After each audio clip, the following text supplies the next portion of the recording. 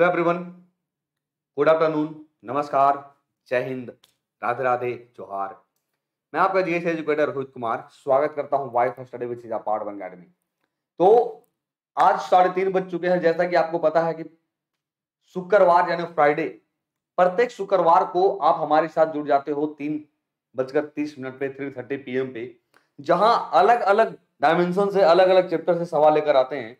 और आज तो आपने देखा ही होगा थंबनेल में कि कई सारे चैप्टर को इंक्लूड किया मैंने, और आप देखना, वो चैप्टर आपको बहुत फ़ायदेमंद होगा आने वाले समय में, आने वाले पेपर में। अभी आप देखो क्या क्या टॉपिक हमने सेलेक्ट किए हैं। तो पुरस्कार और अवार्ड है, संगठन और संस्थान है, मुख्यालय की बात करें, राज्य विधानमंडल और गवर्नर है, खेल स्पर्धा और वैज्ञानिक नाम है। आज एग्ज़ाम हुआ रेलवे का, साढ़े पाँच बजे एग्ज़ाम एनालिसिस है फाइव थर्टी पी पे। क्योंकि जो आपकी एस वाली क्लास है, उसको भी मैंने डिस्टर्ब नहीं किया। है एस वाली क्लास जो है फाइव पीएम पे है और फिर फाइव थर्टी पीएम पे एग्ज़ाम एनालिसिस है। Good afternoon good afternoon my dear good afternoon Pawan, Amit, Anshu, Parth, Naseem, Manju और भाई कौन जुड़ चुके हमारे साथ? आंचल, पवन, कृष्णा, दीपू देख लो दीपू, जो मैंने पढ़ाया है, क्या सवाल आए हैं या सवाल बाहर है? आज आप लोग में से किसी का एग्ज़ाम था क्या? हाँ मेरा है ना। मेरा एग्ज़ाम है कल।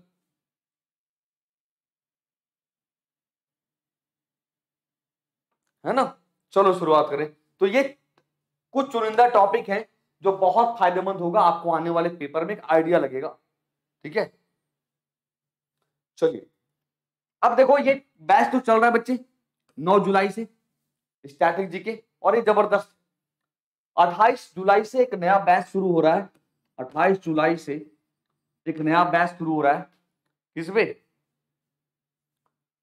अन अकेडमी पे, ये वाली batch S S C D D constable 2021 जिनमें से जितने सारे सब्जेक्ट हैं GK GS Hindi reasoning maths और ये क्लास की लिंक आप चाहो तो आप देख सकते हो। पूरा बकायदा आपको लिंक दिख जाएगा पूरा क्लास का शेड्यूल दिख जाएगा आपका। ठीक है? अच्छा एनटीपीसी की। Okay ma'am sir S S signature Mahesh नीचे मार्जिन डाला है कैपिटल क्या प्रॉब्लम आएगा प्लीज़ महेश को प्रॉब्लम नहीं आएगा, आराम से रखिए, है ना? आइए देखिए। और मिक्स चैप्टर की बात करें, आपको पता है कि आरआरबी एनटीपीसी में मैं पढ़ा रहा हूँ, बिल्कुल प्लस पे, नौ बजकर पाँच मिनट पे। नाइन फाइव ए एम पे, है ना?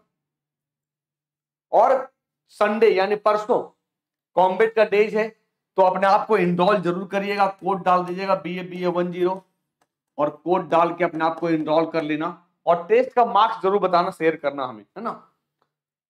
अन सब्सक्रिप्शन के लिए आप हमारे साथ ज्वाइन कर सकते हैं रेफरल कोड बाबा टेल लगाकर। तो सबसे पहले बात करते हैं प्राइज एंड अवार्ड की। प्राइज एंड अवार्ड की बात सबसे पहले। इसके बाद जैसे ही प्राइज एंड अवार्ड खत्म होगा, फिर हम कुछ और देखेंगे, है ना? आइए समझ सवाल नंबर वन आपके सामने ये रहा। Who won the maximum award who won the maximum award at sixty second edition of the annual Grammy award वार्षिक ग्रैमी पुरस्कार के बासठवें संस्करण में किसने अधिकतम पुरस्कार जीते हैं? Lizzo Lady Gaga Billie Eilish Tanya Tucker, सवाल नंबर एक। बताइए क्या होगा? गुड आफ्टरनून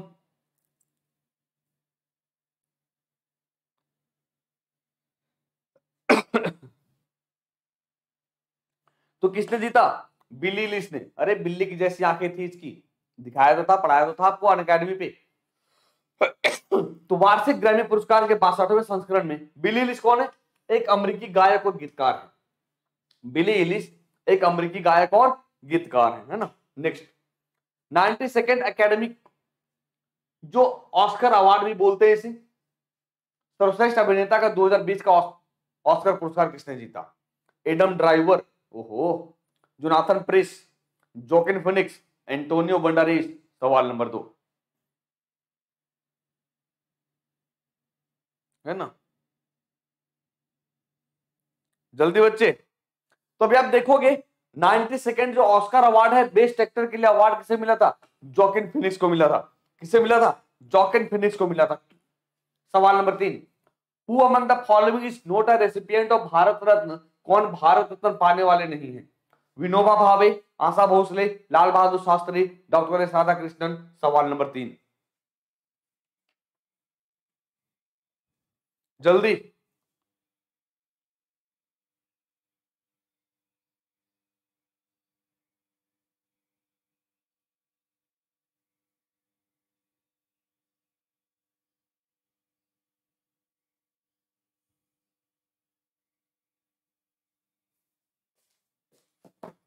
देखो, आशा भोसले, उन्नीस सौ तिरासी में इन्हें मिलता है भारत रत्न, इन्हें उन्नीस सौ छियासठ में और इन्हें उन्नीस में। यह आपके सामने? तो भारत रत्न पाने वाले विनोब भावे उन्नीस सौ तिरासी, लाल बहादुर शास्त्री उन्नीस सौ छियासठ और एस राधा कृष्ण उन्नीस सौ याद रखना विनोब भावे पहले व्यक्ति हैं जिन्हें रेमन मैक्सिस अवार्ड मिला है, जो एशिया का नोबेल बोलते हैं। Ramon Magsaysay award. एशिया का नोबेल बोला जाता है है ना? पहले भारतीय विनोबा भावे। नेक्स्ट की बात करें। नोबेल पुरस्कार पाने वाले पहले भारतीय, Mother Teresa Hargobind Tagore, CV Raman Rabindranath Tagore, सवाल नंबर चार। जल्दी।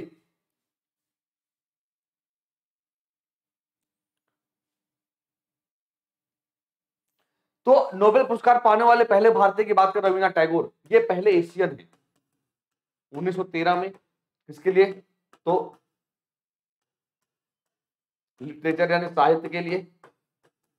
किसके लिए मिला था बच्चे? गीतांजलि। मदर ट्रेसा को उन्नीस में मिलता है और उन्नीस में भारत रत्न।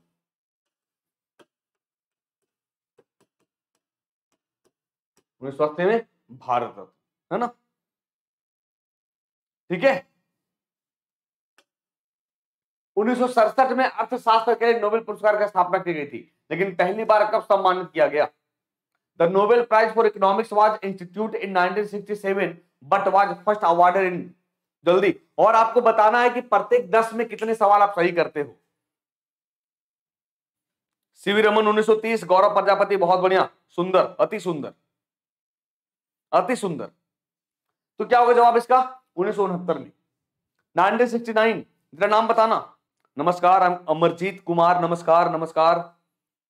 1969 बहुत बढ़िया। अब जरा बताओ तो 1969 की अगर मैं बात करूँ तो किसे मिला था? हु कौन था वो? रगनार फ्रिज था क्या? सर, क्या किसी को शांति का भी भारत में मिला है? मिला है ना? मिला नहीं? Mother Teresa? Amit Rana ji, Mother Teresa हैं, पहली महिला कैलाश सत्यार्थी जी हैं, है ना? रगनार प्रेस याद रखना बिल्कुल। नेक्स्ट तो आर्थिक विज्ञान में, पहला पुरस्कार उन्नीस में रगनार फ्रेस और जॉन टिनबर्गेन को दिया गया था। आर्थिक विज्ञान में पुरस्कार कौन देता है? तो स्टॉकहोम, स्वीडन, है ना? याद रखना बिल्कुल। नेक्स्ट पद्मश्री पुरस्कार पाने वाले पहले भारतीय महिला अभिनेत्री स्मिता पाटिल, नरगिस दत्त, मीना कुमारी मधुबाला सवाल नंबर छह।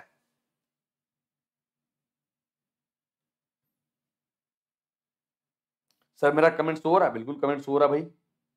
निरंजन कुमार, भले मैं ना दिख रहा हूँ, बताओ। नरगिस तो पहली पद्मश्री पुरस्कार पाने वाली, पहली अभिनेत्री कौन है नरगिस? अच्छा राज्यसभा में चुने जाने वाली।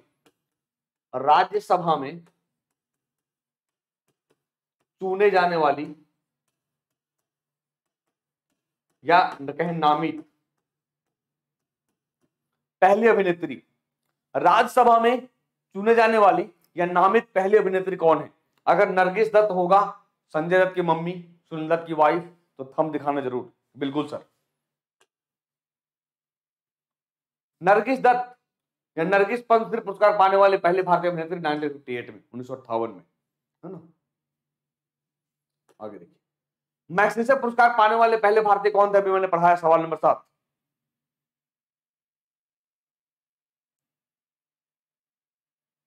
यही है? अच्छा। तो बच्चे मैक्सिसे पुरस्कार पाने वाले पहले भारतीय कौन थे? विनोबा भावे। अभी तो बताया। 1958 अगर इंदिरा गांधी की बात करें तो उन्नीस सौ इकहत्तर में फ़र्स्ट फीमेल, फ़र्स्ट फीमेल जो भारत रत्न से सम्मानित पहली महिला, है ना? किरण बेदी को भी रमन मैक्सेसे पुरस्कार मिला है, याद रखना। किरण बेदी को भी रमन रेमन मैक्सेसे पुरस्कार मिला है, जो पहली आईपीएस रही है फ़र्स्ट आईपीएस तो उन्नीस में भावे समुदाय किस किस लिए मिला, ये याद रखना। तो कम्युनिटी लीडर यानी सामुदायिक नेतृत्व के लिए। सामुदायिक नेतृत्व, यानी आपको याद होगा उन्नीस सौ इक्यावन में ये land gift movement land gift movement जिसे हम भूदान आंदोलन कहते हैं। भूदान आंदोलन के जनक प्रणेता कौन है? विनोबा भावे, है ना? और उन्नीस सौ तिरासी में मरणोपरांत भारत रत्न से सम्मानित किया गया। जरा सा कमेंट बॉक्स में बताना कि मरणोपरांत भारत रत्न से सम्मानित पहले व्यक्ति कौन है? मरणोपरांत भारत रत्न से सम्मानित पहले व्यक्ति कौन है? जल्दी कमेंट बॉक्स में। कौन सा साहित्य के क्षेत्र में भारत का सर्वोच्च सम्मान है? व्यास सम्मान, कालिदास सम्मान, ज्ञानपीठ पुरस्कार, सरस्वती सम्मान, सवाल नंबर आठ। हाँ केजरीवाल जी 2006 में। बहुत बढ़िया।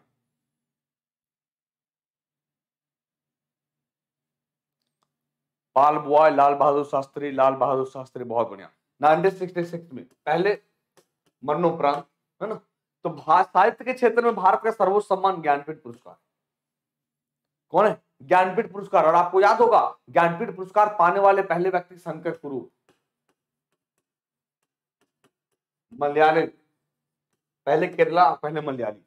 ये और बताइएगा कि अंतिम रूप से ज्ञानपीठ पुरस्कार से सम्मानित व्यक्ति कौन है? जिनकी मृत्यु हुई है हाल में। है ना? उन्नीस सौ पैंसठ में सम्मानित। और आशा पूर्णा देवी, पहली महिला। आशा पूर्णा देवी। पहली महिला याद रखना, है ना? नेक्स्ट की बात करें।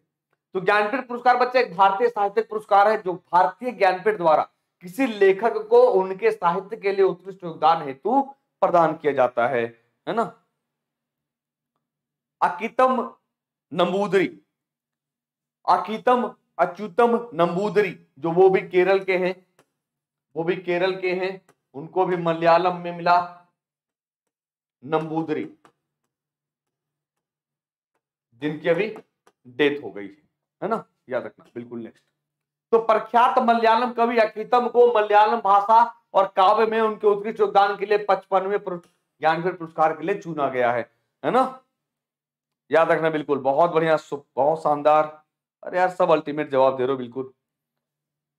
देखो अब ये देखो, उन्नीस सौ इक्यानवे में व्यास सम्मान व्यास सम्मान भी तो जाननी है?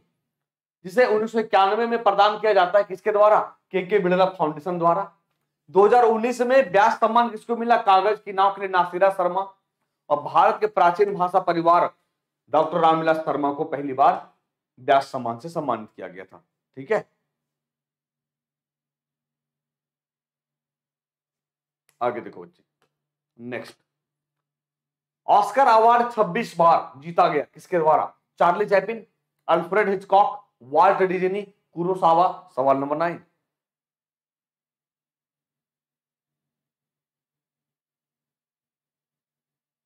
सबके कमेंट सुनो आने बिल्कुल। तो आप देखोगे 26 बार किसको मिला? वाल्ट डिजनी को। ऑस्कर अवार्ड 26 बार जीता गया वाल्ट डिज्नी द्वारा। तो वाल्ट डिज्नी 1901 से छियासठ ने कुल 26 एकेडमी अवार्ड जीते हैं। कुल 26 एकेडमी अवार्ड जीते हैं। और उनतालीस बार नामांकन हुआ है। भाई साहब, ये तो बिल्कुल रिकॉर्ड बना दिया बिल्कुल। रिकॉर्ड बना दिया, है ना? नेक्स्ट बच्चे वाल्ट डिज्नी क्या बच्चे? तो वाल्ट डिज्नी एक अमेरिकी मोशन पिक्चर और टेलीविज़न निर्माता और शोमैन थे, जो कार्टून फ़िल्मों के अग्रणी और डिज्नीलैंड के निर्माता के रूप में प्रसिद्ध थे। ठीक है? जो मिक्की माउस बनाया गया था, आपको याद होगा मिक्की माउस चलिए, दसवां दसवां सवाल। बानवे एकेडमी अवार्ड में किस फ़िल्म ने बेस्ट पिक्चर के लिए 2020 का ऑस्कर अवार्ड जीता है? Joker Parasite Jojo Rabbit Ford versus Ferrari सवाल नंबर दस। लीलाधर, नासिरा शर्मा 2020 2020 शरद पगारे। हाँ ये सही है। बताओ बच्चे, क्या होगा? तो बानवे एकेडमी अवार्ड की बात करें पैरासाइट चाहिए पैरासाइट है ना? याद रखना बिल्कुल अब बताओ, दस सवाल जो था अवार्ड से, वो दस सवाल में आपने कितने सही किए? दस सवाल में आपने कितने सही किए? इसके बाद हम बढ़ेंगे ऑर्गेनाइजेशन और इंस्टीट्यूशन की ओर। दस सवाल में आपने कितने सही किए? दस सवाल में कितने सही किए, जरा बताना। नेक्स्ट की बात करें। Where the headquarters of NABARD अभी मैंने पढ़ाया आज 1:30 पीएम पे, डेढ़ बजे वाली क्लास में।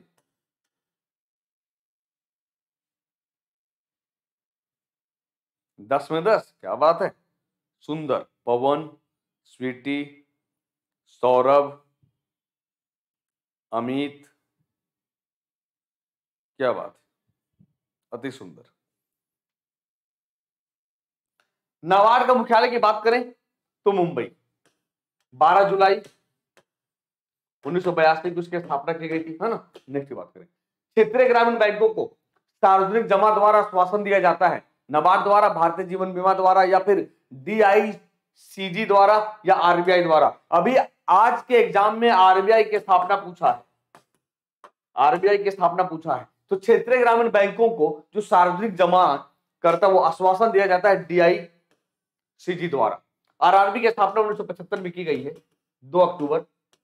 दो अक्टूबर उन्नीस सौ पचहत्तर को आरआरबी की स्थापना की गई थी। कहाँ पे? प्रथमा बैंक, पहला आरआरबी था, जिसका हेडक्वार्टर कहाँ है? मुरादाबाद, पीतल नगरी। मुरादाबाद पीतल नगरी याद रखना बिल्कुल, ठीक है? नेक्स्ट समिति सिफारिशों के तहत 2013 में क्षेत्रीय ग्रामीण बैंकों का समामेलन कहा हुआ था? व्यास समिति बीडीसा समिति, महादेवन समिति एसी समिति, सवाल नंबर तेरह।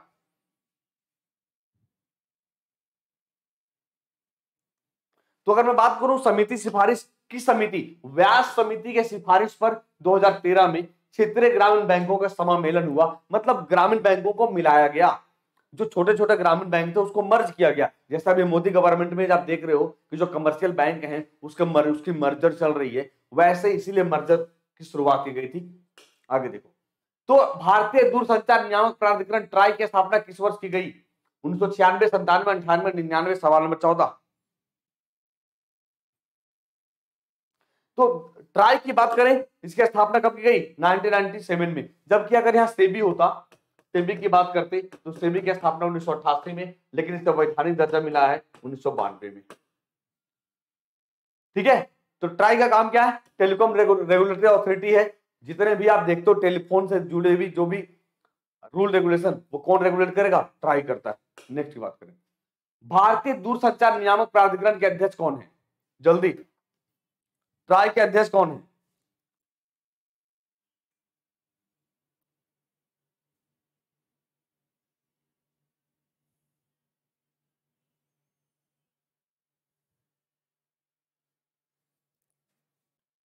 चलिए बताइए। कौन है? R S Sharma. Doctor R S Sharma, PD Vaghela भैया बदल गए। खुटिया है क्या? आर एस शर्मा खुटिया भाई। खुटिया है ना?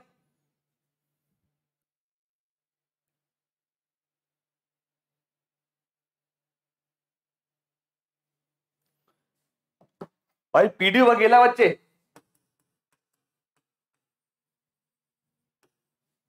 कौन है? PD Vaghela PD Vaghela PD Vaghela कौन है ये? तो पहले रामसेवक शर्मा वर्तमान समय में पीडी वगेला है। वर्तमान समय में कौन है? पीडी वगेला है। तो ट्राई के अध्यक्ष की बात करें, कौन है? पीडी वघेला याद रखना, ये बदल गए हैं।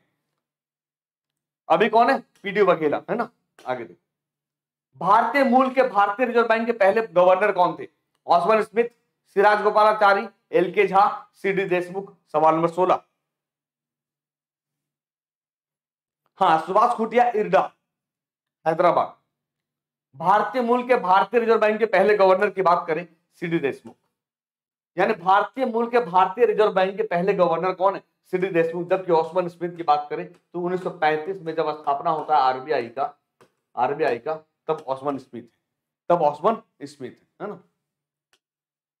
भारतीय बैंक के पहले, भारतीय मूल के गवर्नर सी डी देशमुख, जबकि आरबीआई के पहले गवर्नर ऑस्मिन स्मिथ, जो एक अंग्रेज़ थे। नेक्स्ट की बात करें। 1919 में महात्मा गांधी ने निम्नलिखित में से किस बैंक का उद्घाटन किया था यह पिछले बार भी पढ़ाया था मैंने। बताइए क्या होगा? ये पिछले बार भी पढ़ाया था। याद होगा आपको? किस बैंक का उद्घाटन किया था? यूनियन बैंक ऑफ़ इंडिया जबकि जब 1905 में स्वदेशी आंदोलन की शुरुआत होती है तो उन स्वदेशी आंदोलन के तहत ही इंडियन बैंक की स्थापना की जाती है। अगर सवाल पूछे जाते हैं कि स्वदेशी बैंक, स्वदेशी आंदोलन के तहत किस बैंक की स्थापना की प्रक्रिया देखने को मिला तो इंडियन बैंक, लेकिन महात्मा गांधी उन्नीस उन्नीस में यूनियन बैंक ऑफ़ इंडिया के नेक्स्ट की बात करें। तो कब 11 नवंबर 1919 को पंजीकृत किया गया था और इसका उद्घाटन महात्मा गांधी ने किया था, कहाँ पे? मुंबई में। ठीक है? नेक्स्ट सेबी के वर्तमान अध्यक्ष कौन है? Who is the current chairman of the SEBI?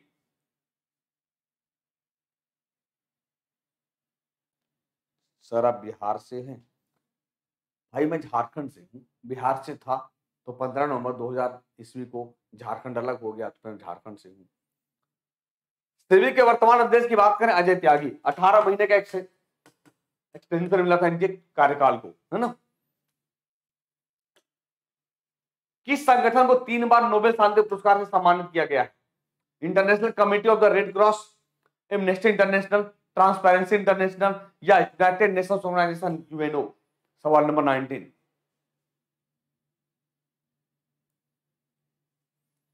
तो किसे मिला है? रेड क्रॉस के अंतरराष्ट्रीय समिति को तीन बार सम्मानित किया गया है। कब कब? 1917 में। ईयर ज़रूर याद रखना।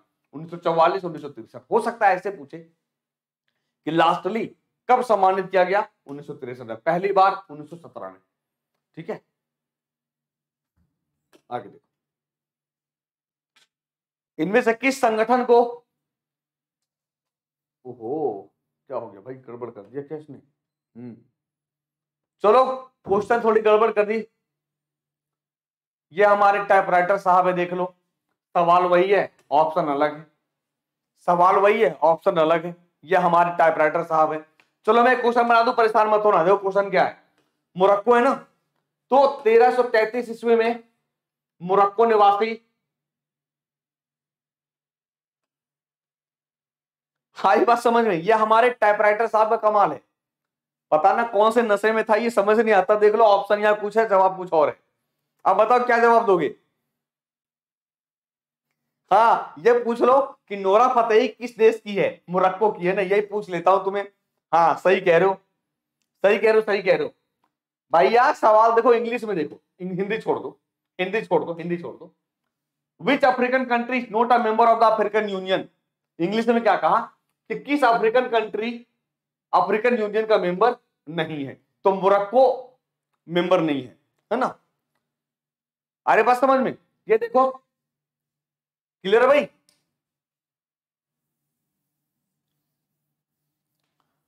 इंग्लिश देखो इंग्लिश इंग्लिश देखो, इसे छोड़ दो।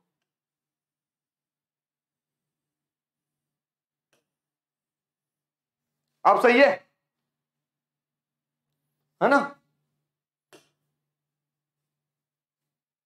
तो 9 सितंबर उन्नीस सौ निन्यानवे को लीबिया के सिरते में एक घोषणा की गई थी अफ्रीकन यूनियन की, ठीक है? और अफ्रीकी संघ एक महाद्वीपीय संघ है, जिसमें 55 देश तो अफ्रीका महादेश में कितने देश हैं? 55 देश शामिल हैं, ठीक है? ठीक है ना भाई? चलिए, अब आ जाते हैं। इसे आधिकारिक तौर पर 2002 में अफ्रीकी एकता संगठन के उत्तराधिकारी के रूप में लॉन्च किया गया था। मुख्यालय अदीस अबाबा, इथोपिया। अब आते स्टेट लेजिस्लेचर एंड गवर्नर। यानी राज्य विधानमंडल और राज्यपाल से कुछ सवाल देखते हैं, है ना? आइए जरा। सवाल number one, article 173 of the Indian constitution, qualification for the membership of the state legislature deals with राज्य विधानमंडल की सदस्यता के लिए योग्यता का निर्धारण संविधान के अनुच्छेद एक सौ तिहत्तर के तहत किया गया है, या किसके अंतर्गत आता है? DPSB state government, union government, fundamental right of the Indian citizen? सवाल नंबर इक्कीस क्या होगा? बताइए। सवाल नंबर इक्कीस।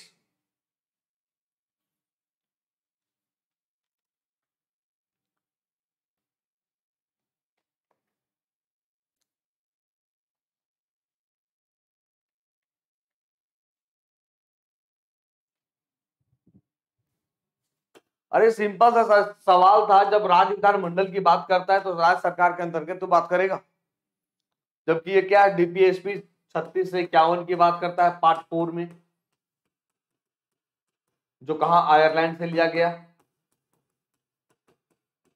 और भारतीय नागरिकों के लिए मूल अधिकार की बात करें फंडामेंटल राइट्स यूएसए से लिया गया है ये, जो पार्ट थ्री पे चर्चा की गई है, बारह से पैंतीस, है ना? और यूनियन गवर्नमेंट ये पार्ट फाइव ये पार्ट सिक्स ये पार्ट सिक्स और ये पार्ट फाइव है है ना? नेक्स्ट तो संविधान के भाग सिक्स के तहत अनुच्छेद एक सौ तिहत्तर, अनुच्छेद एक सौ तिहत्तर, राज्य सरकार या मशीनरी के विषय से संबंधित है, याद रखना। आगे देखो नेक्स्ट इसमें राज्य विधानमंडल की सदस्यता के लिए जो योग्यता होनी चाहिए, वो है। तो आपको पता है राज्य विधानमंडल में दो हाउसेज है, राज्यसभा के लिए तीस साल, लोकसभा और विधानसभा के लिए पच्चीस साल, कम से कम एज होनी चाहिए। संविधान के 211 के तहत विधायिका में चर्चा पर प्रतिबंध लगाया गया यह किसके अंतर्गत आएगा? DPSP union government, fundamental rights या स्टेट गवर्नमेंट, सवाल नंबर 22 जल्दी।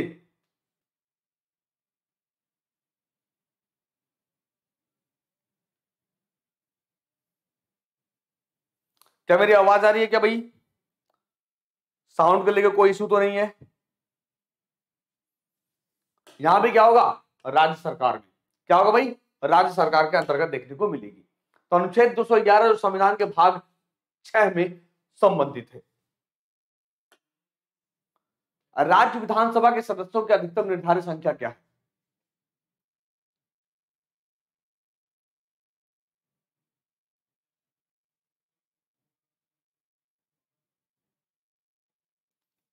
देखो, एक बच्चा है, उसी को केवल साउंड का प्रॉब्लम है। भाई, ठेपी लगाए कान में प्लीज़ निकाल दो। राज्य विधानसभा के सदस्यों की बात करें तो अधिकतम 500 403 है, कहा यूपी में? मिनिमम 60 हो सकता है, जो आंध्र प्रदेश, अरुणाचल प्रदेश में है। लेकिन एक्सेप्शनल अपवाद, गोवा 40 सिक्किम बत्तीस, पुडुचेरी। यहाँ भी तीस, है ना? ये एक्सेप्शनल ये अपवाद है। ये अपवाद है, याद रखना बिल्कुल, ठीक है? नेक्स्ट तो अनुच्छेद एक सौ सत्तर, विधानसभाओं की रचना की बात करता है। किसी भी विधानसभा में अधिकतम 500 सदस्य हो सकते हैं। आगे। जबकि विधानसभा के लिए निर्धारित न्यूनतम शक्ति साठ है। साठ से कम नहीं होगा, लेकिन एक्सेप्शनल अपवाद कहा नहीं है है ना? नेक्स्ट बच्चे। किस राज्य विधानसभा में सदस्यों की संख्या सर्वाधिक है? सवाल नंबर चौबीस, देखिए, आसान सवाल। अच्छा कान के सामने डीजे लगा दे।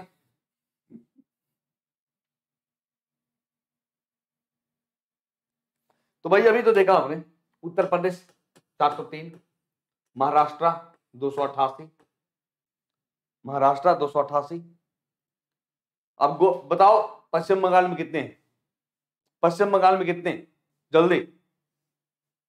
पश्चिम बंगाल में कितने? नेक्स्ट दिल्ली विधानसभा में सदस्यों की संख्या कितनी है? दिल्ली विधानसभा में सदस्यों की संख्या कितनी है? अस्सी, हे भगवान। अस्सी लोकसभा है। अस्सी लोकसभा, इकतीस राज्यसभा और हंड्रेड विधान परिषद। विधान परिषद। सत्तर। दिल्ली में कितने? सत्तर और सात लोकसभा। सात लोकसभा और तीन राज्यसभा। तीन राज्यसभा, है ना? याद रखना बिल्कुल। भारतीय संविधान में एमएलए का फुल फॉर्म क्या होगा? What is the full form of MLA in the Indian constitution देखें कितने लोगों को पता है। सत्तर सत्तर सत्तर सत्तर।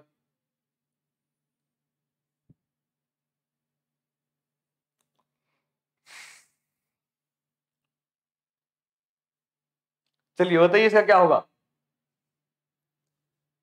भारतीय संविधान में एमएलए का पूर्ण रूप की बात करें विधानसभा सदस्य। Member of legislative assembly member of legislative assembly है ना? तो विधानसभा के सदस्य अर्थात एमएलए जो हम प्रत्यक्ष रूप से चुनते हैं, एक विधान परिषद में एमएलसी होता। है तो लेजिस्लेटिव काउंसिल में member of legislative council that mean MLC बोलते हैं, जो विधान परिषद में सदस्य होते हैं। तो एमएलसी विधान परिषद का मेंबर और एमएलए विधानसभा का मेंबर है ना? याद रखना। जम्मू और कश्मीर विधानसभा का कार्यकाल कितना होगा अब? छह साल, पाँच साल, चार साल? या सात साल सवाल नंबर सत्ताईस। जल्दी। तो जम्मू कश्मीर विधानसभा कार्यकाल कितना होगा?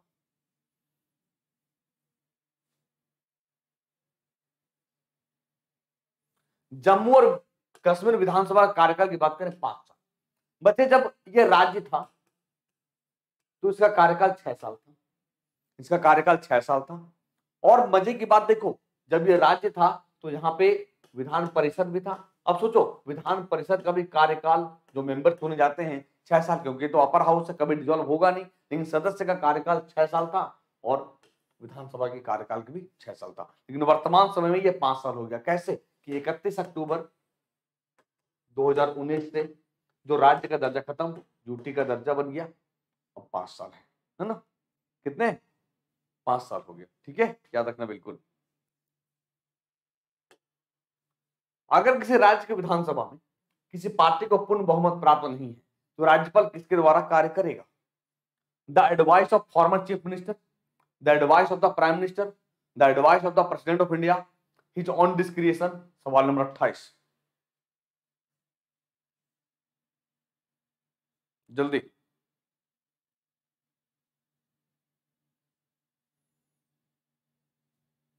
तो अपने विवेक द्वारा। कोई मतलब नहीं है, अरे प्रेसिडेंट क्यों होगा? क्यों प्रेसिडेंट होगा? राष्ट्रपाल अपने विवेकानुसार कार्य करता क्या कहा? अगर किसी राज्य के विधानसभा में किसी पार्टी को पूर्ण बहुमत प्राप्त नहीं है तो राज्यपाल किसके द्वारा कार्य करेगा? भाई, राज्यपाल अपने विवेक अनुसार दूसरी पार्टी को इनवाइट करेगा। भाई, आपके पास बहुमत है क्या? बोलेगा हाँ तो आओ, बनाओ सरकार। बोलेगा, नहीं तो साइड ले ले। और फिर राष्ट्रपति को कहेगा कि यहाँ किसी के पास बहुमत नहीं है तो क्या कहा, क्या करा जाए? तो बोला जाए, तीन सौ छप्पन लगाइए, और क्या? तीन सौ छप्पन की सिफारिश करे है ना? याद रखना बिल्कुल, ठीक है? अच्छा बताओ, क्या प्रॉब्लम हुआ समझने में इसे? इसे समझने में कहा दिक्कत हुई सवाल को? जरा आप मुझे बता दीजिए। कहाँ समझने में प्रॉब्लम हुआ सवाल और अगर नहीं समझ पा रहे तो फिर मुझे बताओ ना।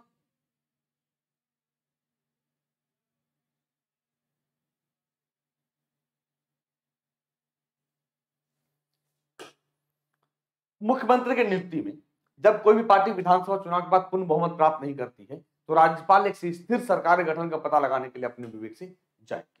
ठीक है? तीन सौ पैंसठ छप्पन क्या है? प्रीति जी, जब तीन सौ छप्पन जब राष्ट्रपति को जब राज्यपाल को पूरी तरह से राज्यपाल पूरी तरह से ये पता लगा लेंगे कि अब कोई सरकार ना बना पाएगा, चाहे पक्ष या विपक्ष से, तब वो राष्ट्रपति को लिख कर देंगे कि आप तीन सौ छप्पन लगा दीजिए, है ना? तब आएगी बातें वो। ठीक है? किस राज्य में विधान परिषद है? Which of the following state has legislative council Madhya Pradesh, Tamil Nadu, Kerala, Andhra Pradesh सवाल नंबर उनतीस। छेद याद नहीं होता। अरे, अश्विनी कुमार, आप तो रेल मंत्री हैं। आपको क्या ज़रूरत है याद करने की? तो क्या होगा भाई? किसमें विधान परिषद नहीं है? आंध्र प्रदेश में विधान परिषद है। किसमें नहीं है? इन तीनों में नहीं है। तो हम, मैं बहुत बात करता हूँ, आप कहते भी हो, सर, आप बहुत बात करते हो, सर, बहुत बोलते हो। क्या करें? जीएस का मास्टर है, जीएस का टीचर है, बोलना ही पड़ेगा। मतलब क्या? कर्नाटक, यूपी महाराष्ट्र, बिहार, आंध्र प्रदेश, तेलंगाना, यानी छह राज्यों में विधान परिषद है। आर्टिकल 169 से हम विधान परिषद बना सकते हैं, हटा सकते हैं। बरसते राज्य विधानसभा दो तिहाई बहुमत से प्रस्ताव पारित करें और फिर उस प्रस्ताव पर जो हमारी संसद है, वो साधारण बहुमत से प्रस्ताव पारित कर दे। बन जाएगा ये, है ना? याद रखना बिल्कुल। नेक्स्ट किस अनुच्छेद के तहत विधान परिषद का गठन या उसे समाप्त किया जा सकता है? ओ माय गॉड बोनस है ना? बोनस।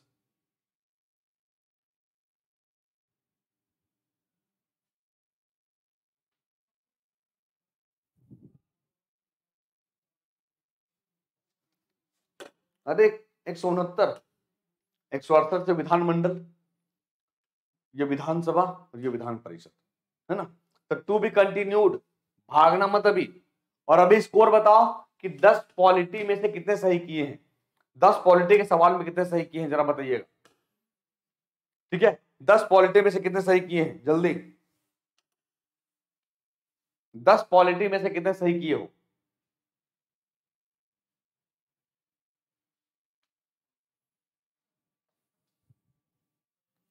दस पॉलिटी में से कितने सही किए हो?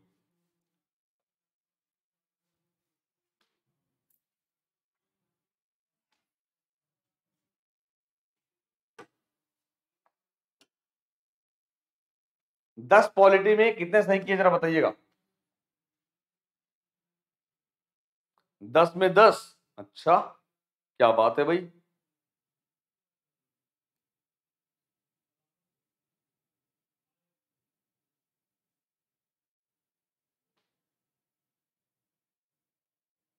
दस में आठ। क्या बात है, क्या बात है, सुंदर। चलिए, अब दस सवाल हम देखते हैं। वायसरा गवर्नर जनरल की। वायसरा और गवर्नर जनरल, ये पढ़ा चुके हैं मॉडर्न इंडिया में कई बार। आइए देखें। सवाल नंबर वन लॉर्ड चैम्सफोर्ड के कार्यकाल के दौरान एसवी सिन्हा को किस राज्य के राज्य गवर्नर के रूप में नियुक्त किया गया था? मद्रास, कलकत्ता, बिहार, बंबई। सवाल नंबर इकतीस। मत पूछो सर प्लीज़ क्यों? क्यों ना पूछे? करुणा जी, क्यों ना पूछे? बताइए। अरे पुष्पेंद्र भाई, आज पढ़ाया है स्ट्रैटेजी के का, डेढ़ बजे। तो लॉर्ड चैम्सफोर्ड के कार्यकाल के दौरान एसवी सिन्हा को किस राज्य, बिहार? किसके लिए? बिहार के लिए, है ना? सत्येंद्र प्रसाद सिन्हा। कौन कथन गलत है? स्वराज पार्टी का गठन लॉर्ड रेडिंग के कार्यकाल के दौरान किया गया। हिंदू महासभा की स्थापना लॉर्ड हार्डिंग सेकेंड के कार्यकाल के दौरान की गई। 1917 में एनी बेसेंट और होम, द्वारा होम रूल की स्थापना आंदोलन शुरू किया गया। सर जॉन लॉरेंस पंजाब के उद्धारकर्ता के रूप में जाने जाते हैं। सवाल नंबर बत्तीस। बताइए, क्या होगा? सवाल नंबर बत्तीस। तो क्या होगा भाई? ये गलत है। क्यों? क्योंकि अप्रैल 1916 तिलक साहब, सितंबर 1916 कौन है? Annie Besant. Annie Besant. C गलत है। ये आपके सामने। तो तिलक ने अप्रैल 1916 में पुणे में ऑल मतलब इंडियन होम रूल लीग और बेसेंट मद्रास अडियार में सितंबर 1916 में all India home rule league. All India home rule league, है ना? याद रखना। नेक्स्ट कौन गलत है? Which of the following is incorrect सवाल नंबर तैतीस। जल्दी।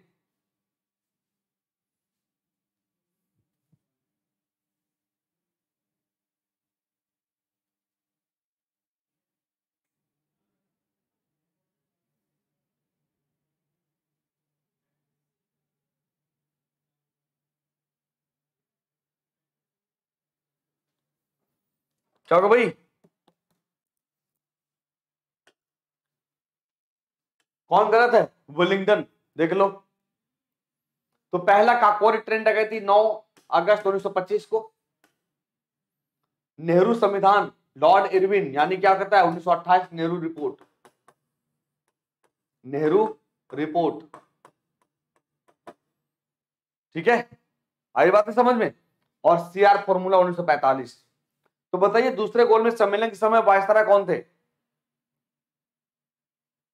दूसरे गोल में सम्मेलन के समय वायसराय कौन थे? जल्दी।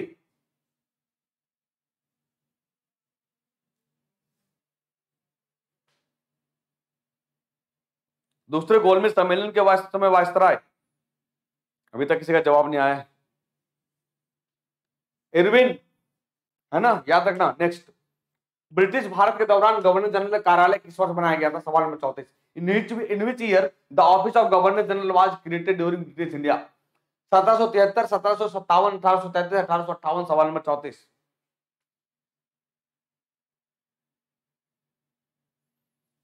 तो ब्रिटिश भारत के दौरान गवर्नर जनरल कार्य का कार्यालय सत्रह सौ तिहत्तर का रेगुलेटिंग एक्ट रेगुलेटिंग एक्ट सत्रह सौ तिहत्तर। है ना? अगर पूछता भारत का वायसराय तो अठारह अगर पूछता कि भारत का गवर्नर जनरल तो अठारह यहाँ क्या पूछ दिया? ब्रिटिश भारत पूछा है।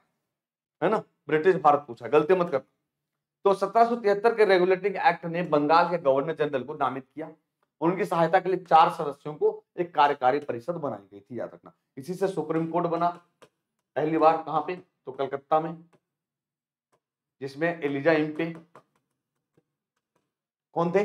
चीफ जस्टिस थे, है ना? नेक्स्ट बंगाल के पहले गवर्नर जनरल कौन थे? Roger Drake Warren Hastings Lord Cornwallis Sir John Shore सवाल नंबर पैंतीस। तो अगर मैं बात करूँ बंगाल के पहले गवर्नर जनरल की तो वारन हेस्टिंग्स सत्रह तिहत्तर। लेकिन अगर केवल होता कि बंगाल के पहले गवर्नर बंगाल के पहले गवर्नर की बात करते हैं तो केवल रॉबर्ट क्लाइव तब रॉबर्ट क्लाइव होता। क्या होता?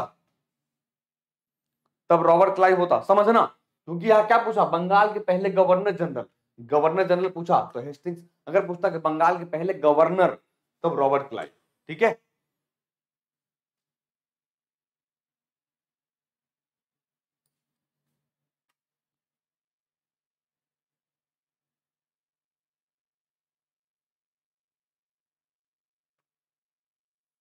ठीक ना?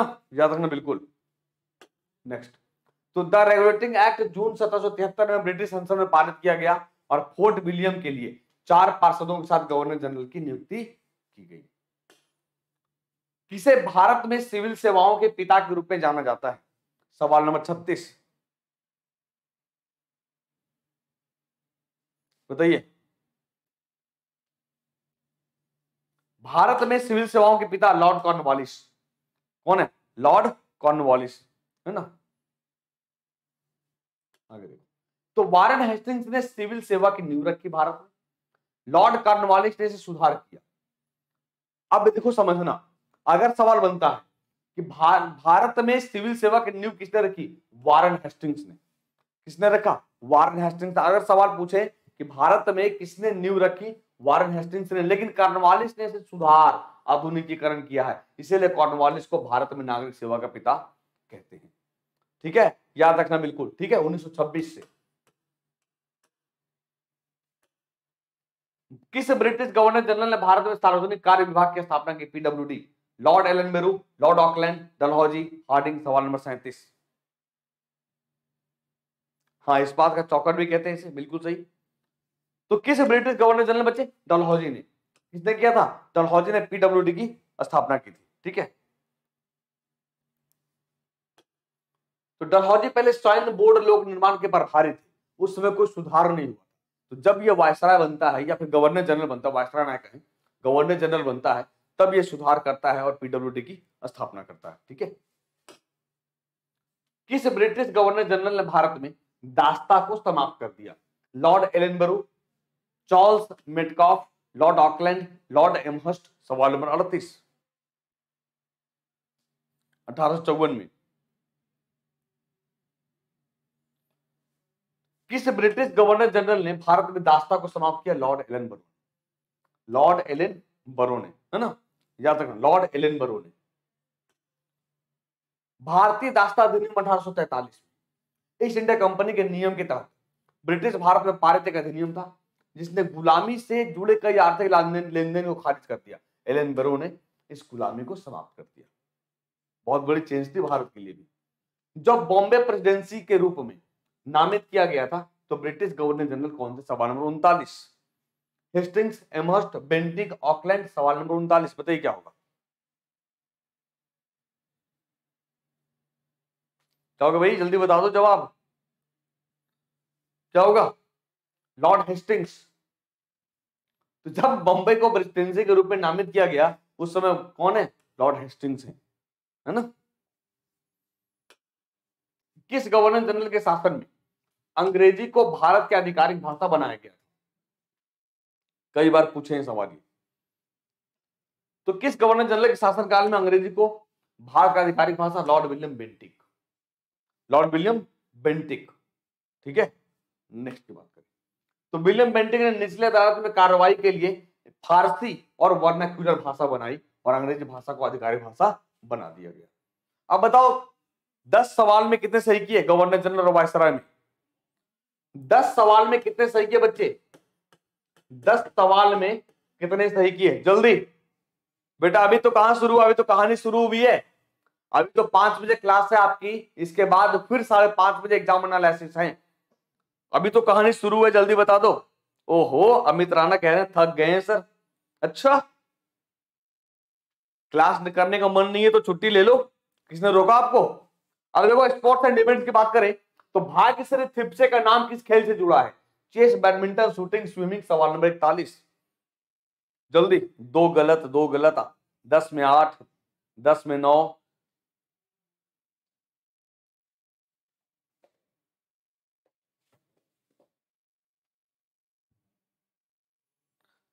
भाग्यश्री थिप्से का नाम किस खेल से जुड़ा है? शतरंज चेस। किससे? शतरंज चेस से, है ना? तो भाग्यश्री थिप्से शतरंज खिलाड़ी हैं, जिन्होंने वुमन इंटरनेशनल मास्टर की उपाधि धारण की, क्योंकि उन्नीस सौ इक्यानवे में पाँच बार भारतीय महिला चैंपियनशिप और एशियाई महिला चैंपियनशिप जीतती है। ठीक है भाई? याद रखना, नेक्स्ट। कौन सा खिलाड़ी बैडमिंटन से संबंधित नहीं है? सवाल नंबर बयालीस, बताइए क्या होगा? देख लेना, दस क्वेश्चन है इवेंट से स्पोर्ट्स एंड इवेंट कितने सही करते हो। तो कौन?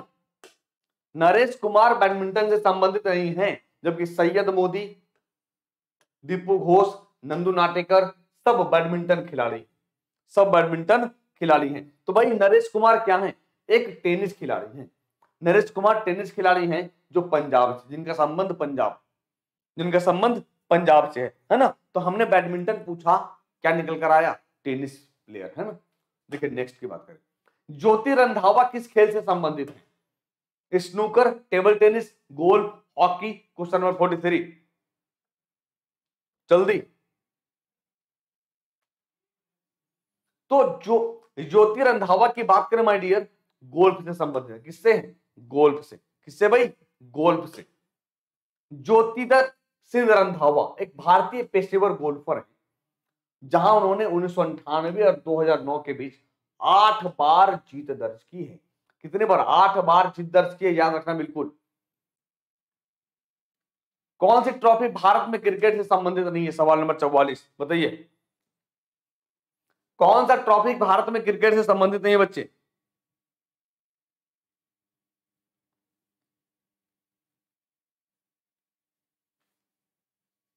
Golf golf golf. क्या होगा? संतोष ट्रॉफी, ये किससे है? फुटबॉल। जबकि Dilip trophy, Devdutt trophy, Syed Mushtaq Ali trophy, ये सब किससे हैं? क्रिकेट से, है ना? Syed Mushtaq, oh my god, oh my god, बहुत गलती। सैयद मुश्ताक तो ये क्रिकेट से हैं। संतोष ट्रॉफी फुटबॉल से हैं। काहे गलती करती हो? संतोष ट्रॉफी क्रिकेट से संबंधित नहीं, क्योंकि भारत में आयोजित होने वाला फुटबॉल टूर्नामेंट है। इसकी स्थापना उन्नीस में की गई थी। कब किया गया? उन्नीस में। काहे गलती करते हो? नेक्स्ट की बात करें। फीफा सर्वश्रेष्ठ खिलाड़ी बच्चे 2019 का पुरस्कार किसे मिला? फीफा सर्वश्रेष्ठ खिलाड़ी 2019 का पुरस्कार किसे मिला? नेमरो, मेस्सी, रोनाल्डो, लुका मोडिक, सवाल नंबर पैंतालीस।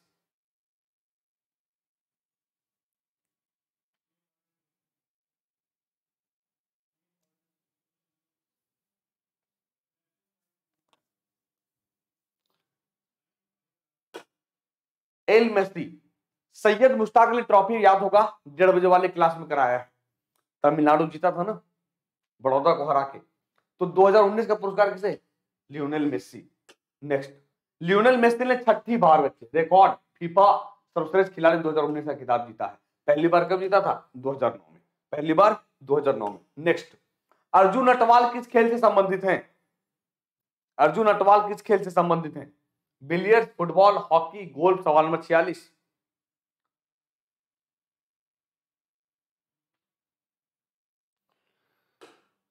गोल्फ, किससे गोल्फ से है ना? नेक्स्ट की बात करें।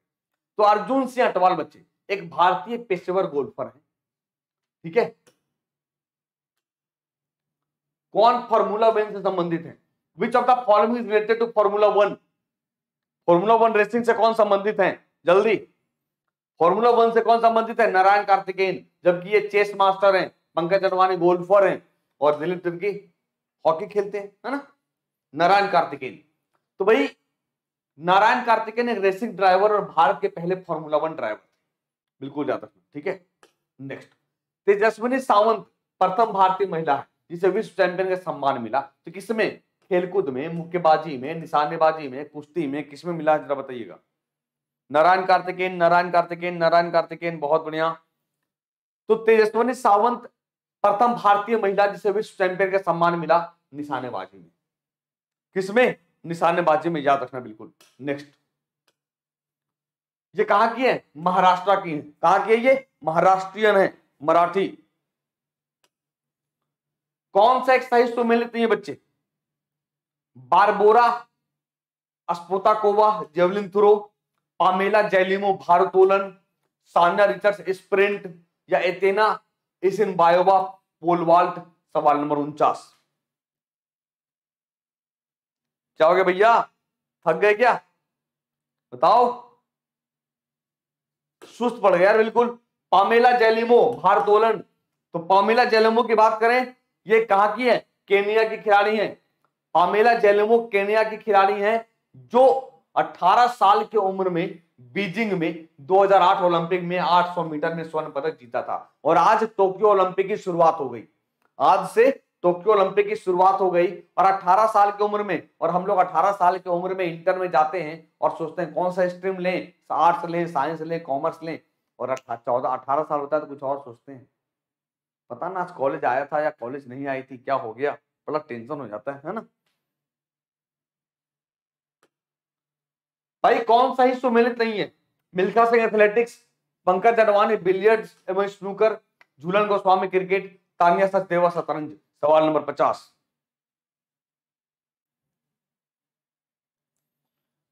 तो कौन सुमेलित नहीं है भाई?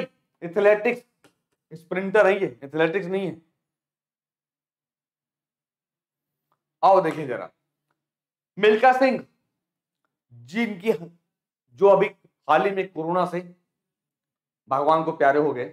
द फ्लाइंग सिख के नाम से भी जाने जाते हैं और भारतीय पूर्व ट्रैक एंड फ़ील्ड स्प्रिंटर है ये। फ़ील्ड स्प्रिंटर है, जिसे भारतीय सेना में सेवा करते हुए खेल में लाया गया था याद रखना। ठीक है?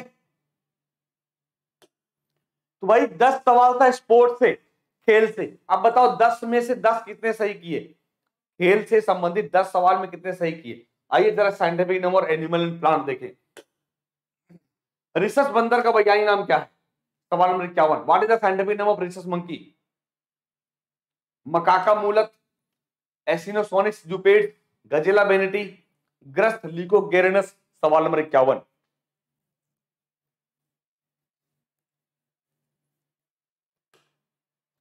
Macaca rhesus monkey R H factor जिसके आधार पे प्लस और माइनस जो हमारा ब्लड के हैं पॉजिटिव और नेगेटिव है ना?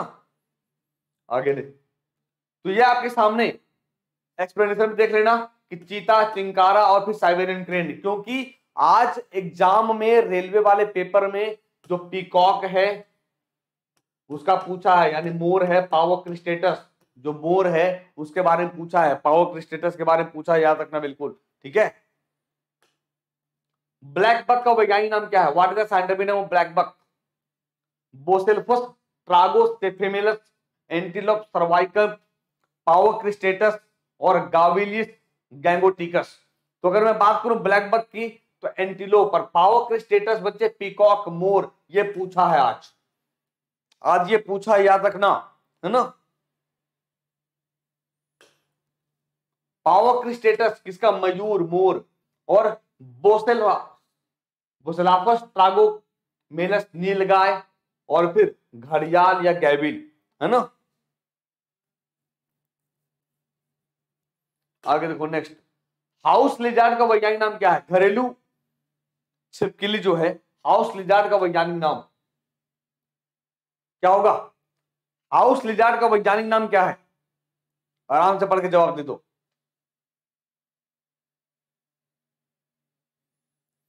तो हाउस लिजार्ड का वैज्ञानिक नाम की बात करें फ्लेविवी रिडिस। फ्लेविवी रिडिस, है ना? याद रखना साइंटिफिक नेम से एक सवाल ज़रूर आएँगे।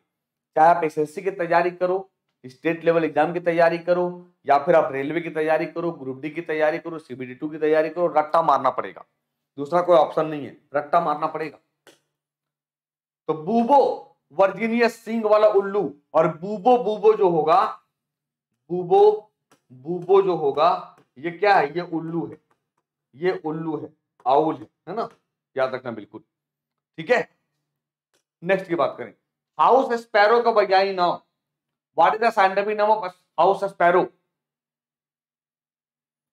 याद रखना, आज पाँच बजे वाले क्लास में मॉक टेस्ट है एसएससी का। और साढ़े पाँच बजे एग्ज़ाम एनालिसिस ठीक है? तो हाउस स्पैरो का वैज्ञानिक नाम की बात करें। पेसर डोमेस्टिकस पेसर डोमेस्टिकस हाँ पता है बट याद कौन करेगा? करुणा जी, आप याद मत कीजिए ना।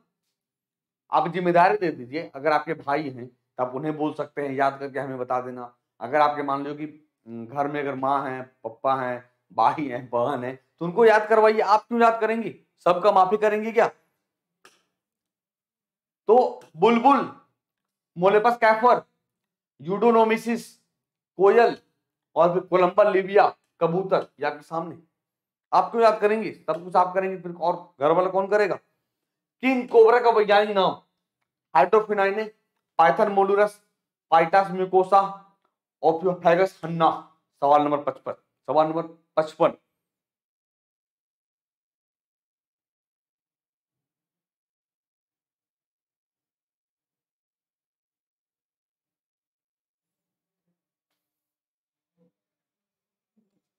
देखो तो ओपियोफेगस हन्ना ये किंग कोबरा किंग कोबरा है ना? आगे। तो हाइड्रोफाइना बच्चे समुद्री सांप। पाइथन मोडुलर भारतीय अजगर। और धामन या रेड स्नैक की बात करें तो आप ये देख सकते हैं, है ना? ठीक है नेक्स्ट कटफोड़वा का वैज्ञानिक नाम scientific name of woodpecker कटफोड़वा का वैज्ञानिक नाम। वुड कीपर का वैज्ञानिक नाम की बात करें तो मिलानड्रिपस लोविस मिलानड्रिपस लेविस है ना हाँ नाजा नाजा इंडियन कोबरा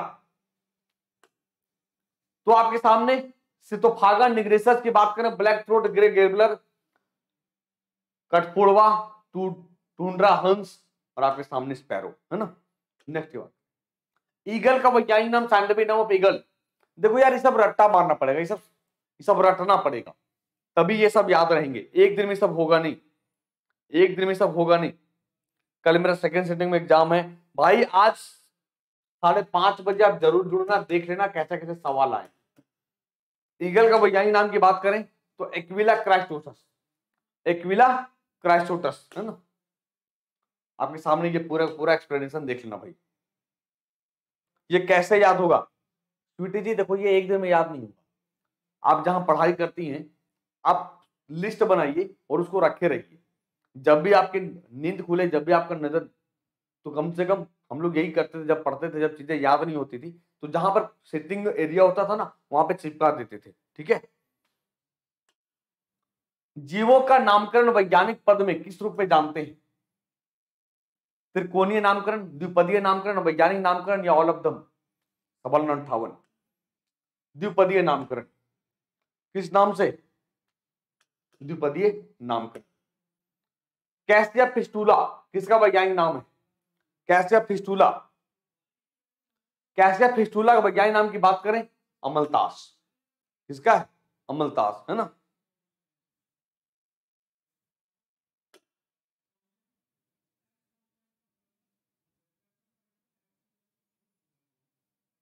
द्विपदीय नामकरण को ध्यान में रखते हुए वैज्ञानिक नाम के अंतर्गत क्या देखने को मिलता है? जीनस और क्लास जीनस और किंगडम जीनस और स्पेसिस जीनस और फाइलम सवाल नंबर साठ। क्या होगा? वंश और प्रजातियाँ। वंश और प्रजातियाँ। भाई, ये था अलग अलग टॉपिक से दस दस सवाल जो आप फ्राइडे को उम्मीद करते थे अगर सेशन अच्छा लगा होगा तो लाइक ठोक के जाना। अभी पाँच बजे क्लास है आपकी। फाइव पीएम पे एसएससी में, ये आधे घंटे की क्लास होगी। और फिर साढ़े पाँच बजे एग्ज़ाम एनालिसिस तो एग्ज़ाम एनालिसिस में मिस मत करना, जाना ज़रूर। ठीक है? कहा वाईफाई स्टडी पे। अगर सेशन अच्छा लगा हो तो लाइक ठोक के जाना। इसके अलावा आप हमारे साथ ज्वाइन कर सकते हो अन अकेडमी जहाँ पर 28 जुलाई से 28 जुलाई से बैच शुरू हो रहा है जेडी कॉन्स्टेबल के लिए, क्योंकि 28 तारीख से प्राइस हाइक हो रहे हैं एसएससी का। अभी क्या होगा? अभी आप ज्वाइन करते हो तो दो साल में बारह महीने फ्री हैं और एक साल में छह महीने फ्री है। जबकि आप देखते हो प्राइस क्या है, बिल्कुल ज़बरदस्त तरीके से हाइक हो जाती है। ठीक है?